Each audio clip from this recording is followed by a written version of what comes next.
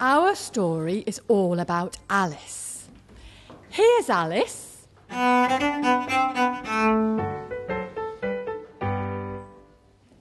And Charlie, the cello she is given for her ninth birthday. Here's Charlie.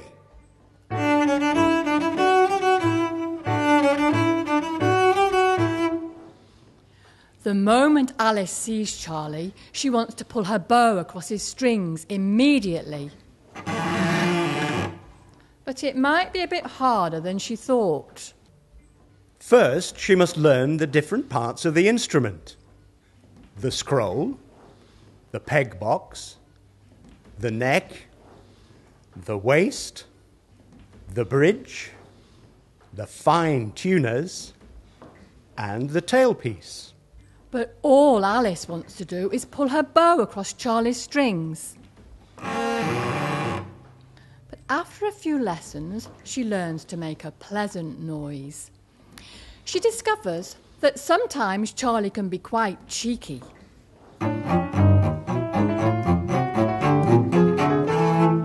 And sometimes he can be quite sad.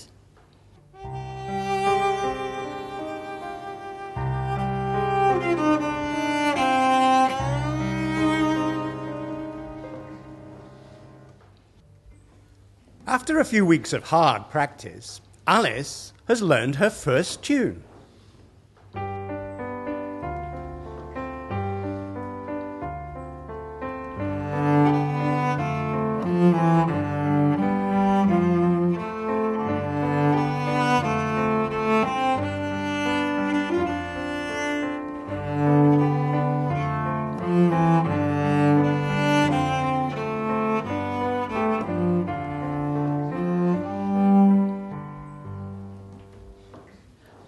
This is the tune she decides to play at the end of term school concert.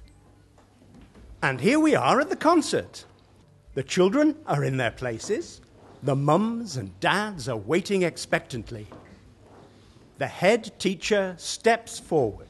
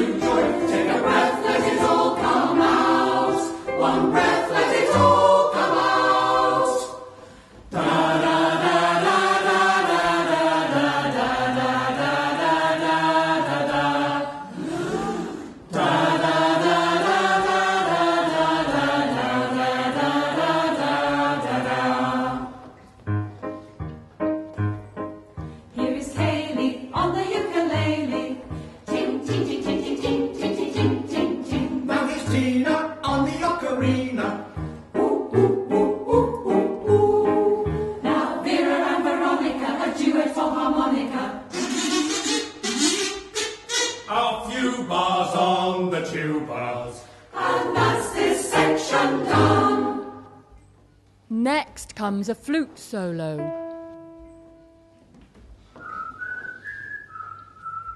A flute duet. A flute trio. And the entire orchestra.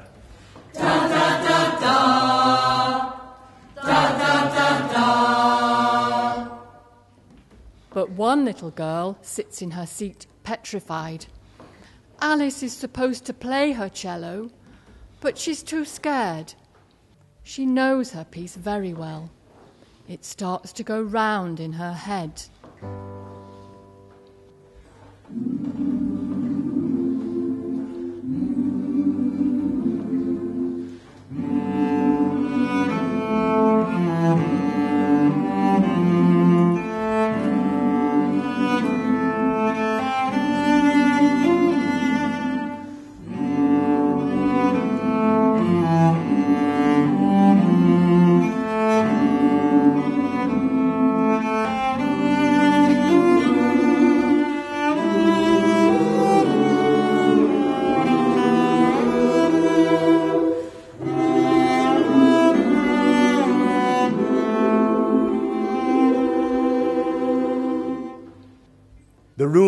Silent.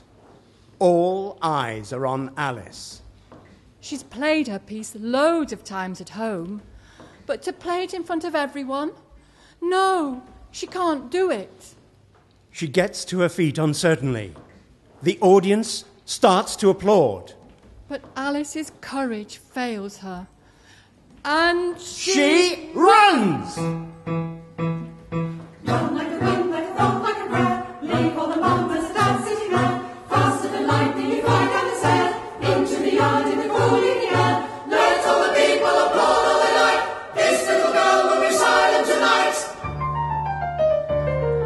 Alice wrenches open the door of her parents' car, sits in the back, and cries her eyes out. Back in the hall, the concert is soon over. The parents and children have gone. Charlie lies in a corner, discarded, forgotten, surrounded by other forgotten items. Suddenly, the door opens and the school caretaker, Mr. Griswold, comes in with a large wheelbarrow.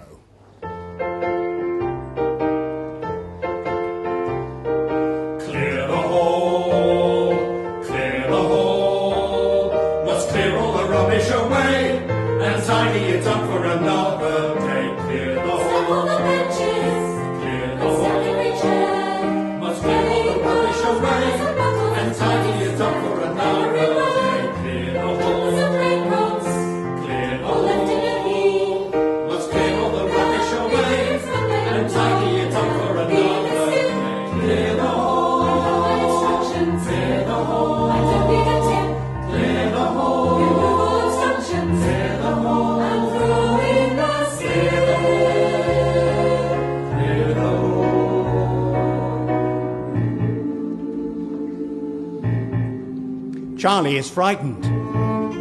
He sings to himself to keep up his spirits. In goes a brand new cagoule.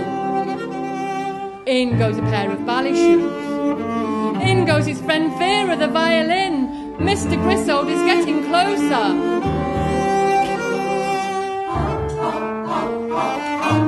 Charlie's in his dark corner. Maybe he won't be seen. Charlie's heart is beating faster and faster. Mr. Griswold is getting nearer and nearer.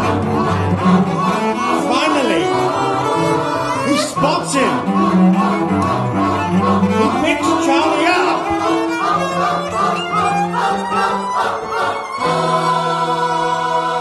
And casually tosses him into the wheelbarrow.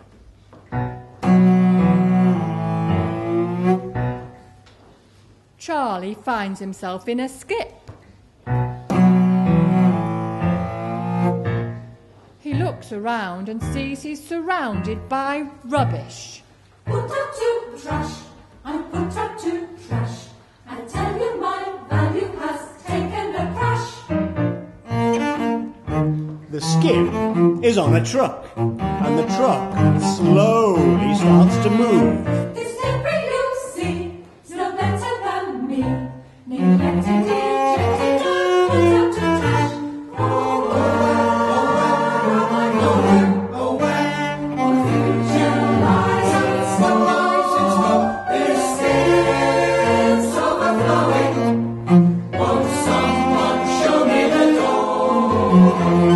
As the truck trundles down the winding lanes, it begins to get faster and faster.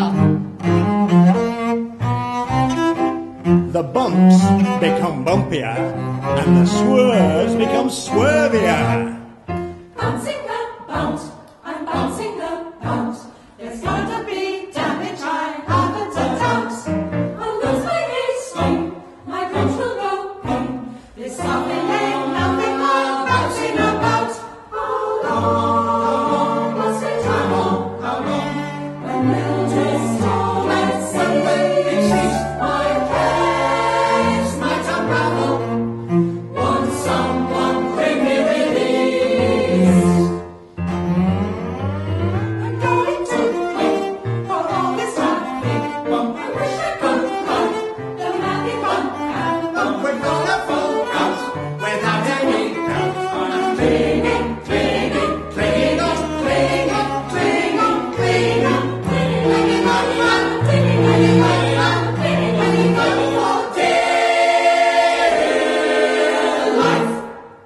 And with a bump, Charlie falls into four busy lanes of traffic.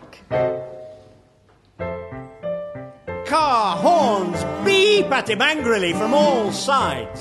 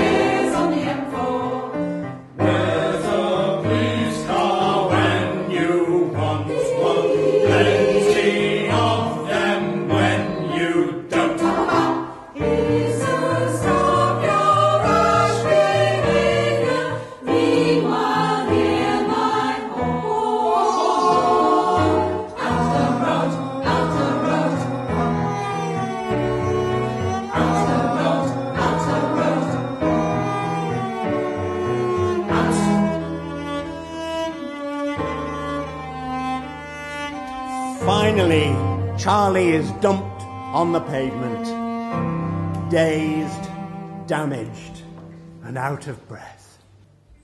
He looks around, and there, right next to him, is a mysterious old man selling balloons.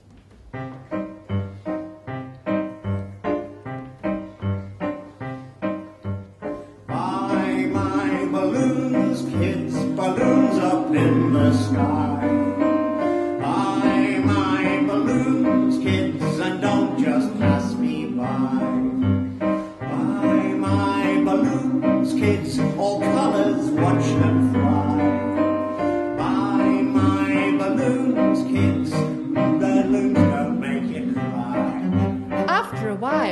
Charlie starts to join in.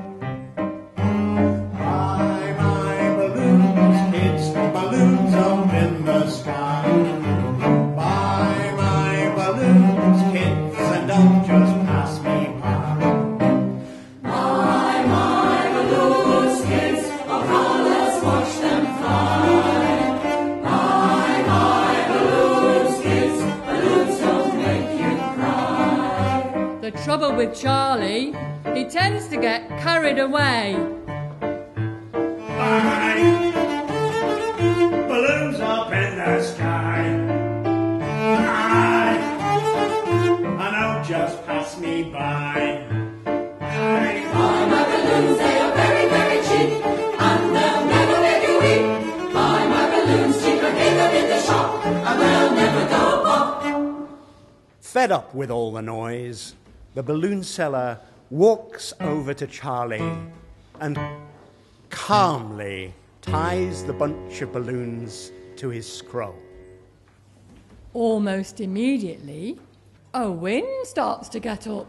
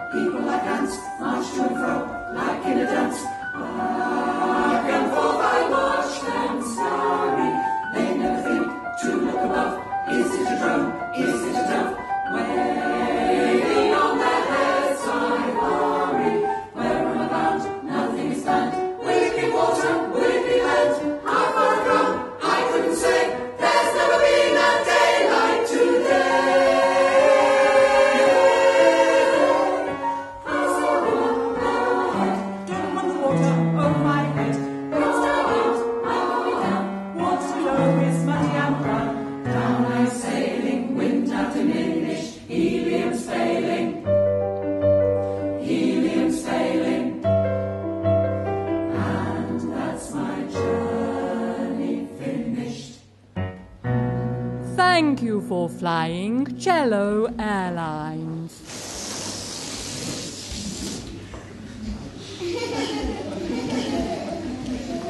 But Charlie isn't in the water as he'd expected. His strings are caught in the branches of some trees overhanging the river. He hangs there precariously.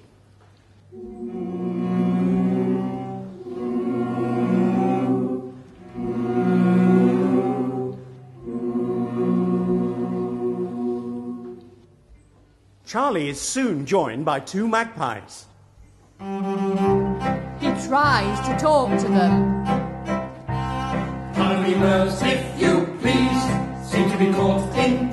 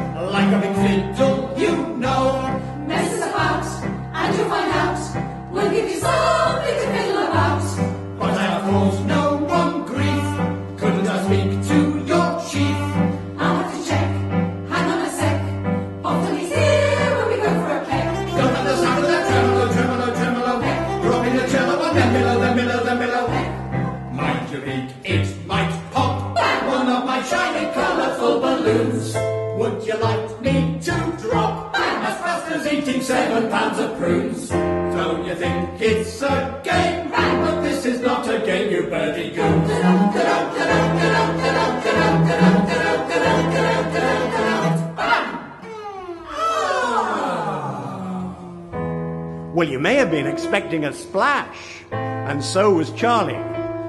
But instead, there was a bit of a. And a bit of a. And a bit of a. And Charlie had landed on the deck of a river barge. But this was no ordinary barge.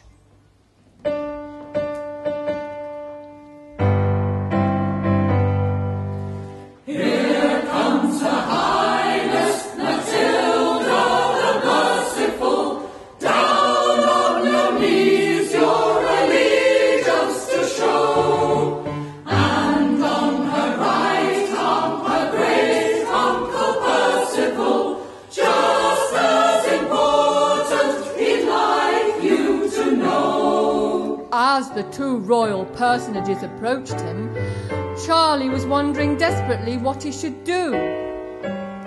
Maybe he should play a royal tune.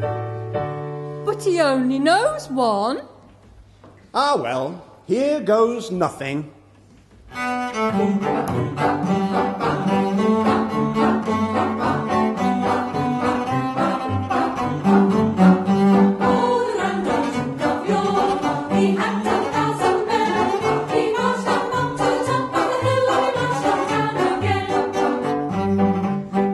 Charlie didn't know Couldn't possibly know. was that the princess's uncle was actually the real Duke of York. And When they were up, they were up. And he'd once taken a platoon of men on a training exercise in the Lake District. And when they were down, they were down. And he'd got completely lost. And when they were only halfway up, And they'd been up 27 hills before they had to be rescued by air ambulance. they were neither up nor down. The Grand Duke's face turned to thunder. Charlie realizes he's made a blunder. He's going, he's going to blow. Run for your life, Charlie, my friend. Beat me to knife, unhappy end. Off from the deck, fast as you may. Boating is lovely, just not today. And Charlie takes to his heels with the beefeater right behind him. And behind him, the Grand Duke. And behind him, Her Highness Princess Matilda and all her ladies in waiting.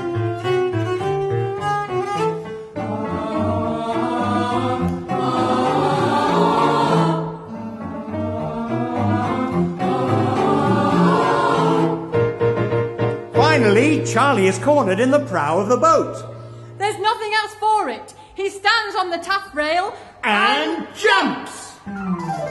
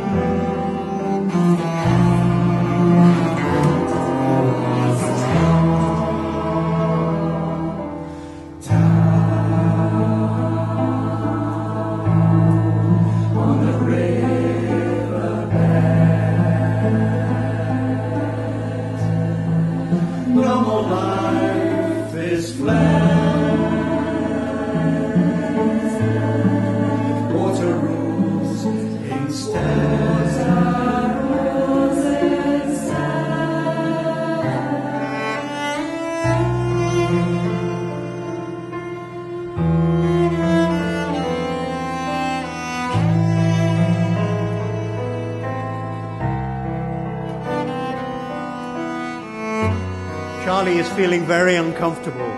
Little silver minnows are flitting in and out of his forte holes. And as if that isn't enough, a Spanish crab comes along and jumps right on top of him.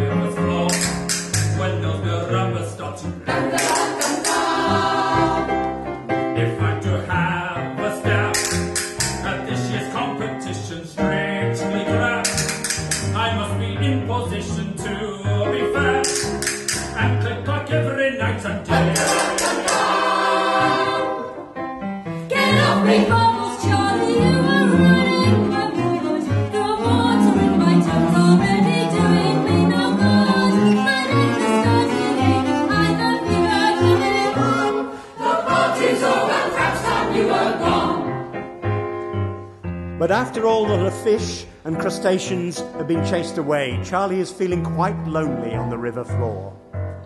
He begins to wonder if he will ever escape, or if he's destined to end his days a soaking piece of mouldy wood, never again to bring forth beautiful music.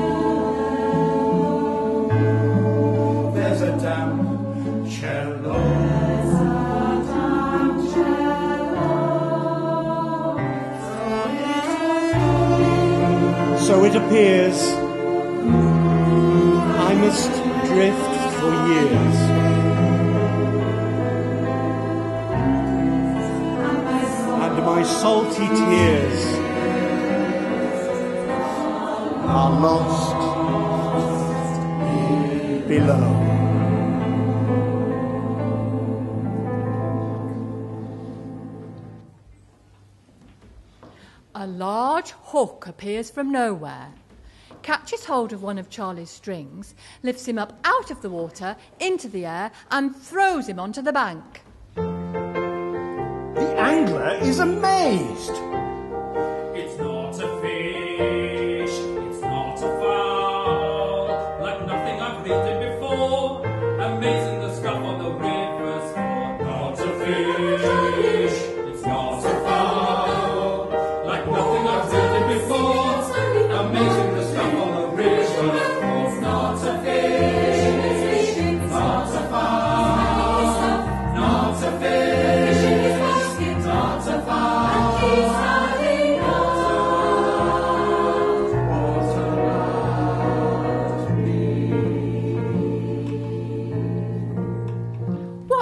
brushing Charlie's string.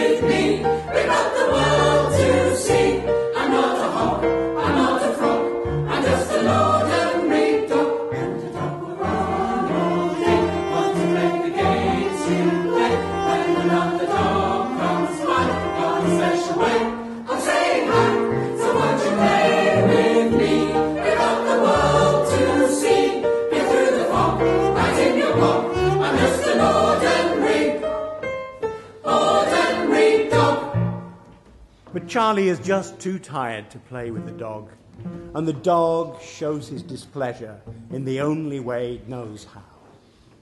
Along comes the dog's owner.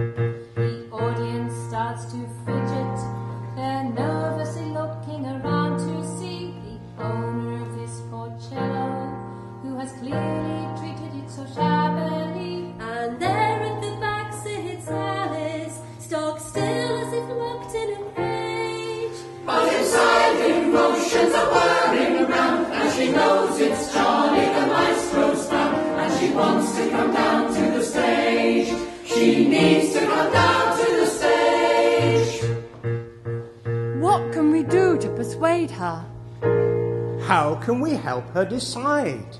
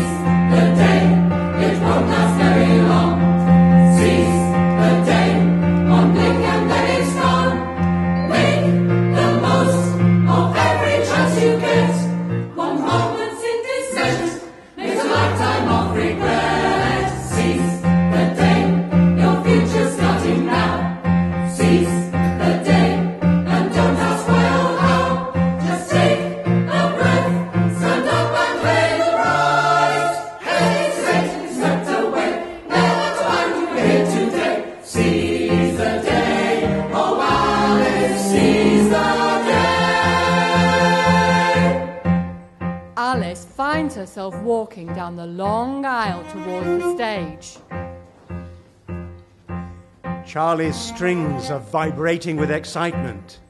Alice gets nearer and nearer to the front. She slowly climbs the steps to where the maestro is waiting for her. He's still holding Charlie. So this is your very own child, and you'd like to take it back home but he needs a good polish and a touch of glue. But just as Alice is about to reach out and take Charlie from the maestro, he stops her and says, But we can't let you go away